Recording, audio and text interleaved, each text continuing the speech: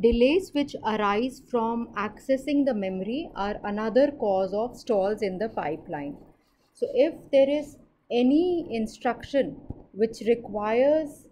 uh, to access the memory and if the required data is not available in the cache and the system has to access the main memory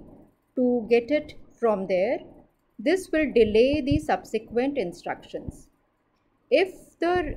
required address is found in the cache, it will be brought back in one clock cycle. But if the address is not available in the cache, if the information that is sought is not available in the cache, then there will be a stall in the pipeline because it will be fetched from the main memory. So all the subsequent instructions will be delayed. Consider an example like this where we have a load instruction followed by a subtract instruction and the destination register is a source operand in the subtract instruction.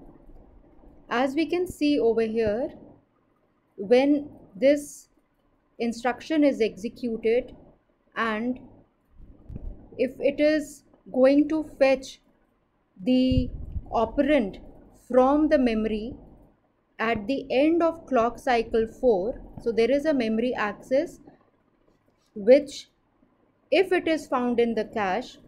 that data will be brought at the end of clock cycle 4 it will be written back into the register 5 in clock cycle 5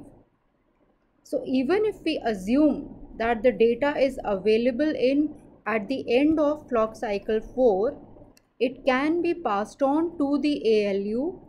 can be forwarded to the ALU only at the beginning of clock cycle 5 this will still cause a delay of one clock cycle. So any instruction which follows an instruction that requires memory access and if there is any data dependency between the two instructions it will cause a stall of one clock cycle at least even if that information is available in that cache. And here operand forwarding is not going to help much. It is still causing a stall of one clock, uh, clock cycle.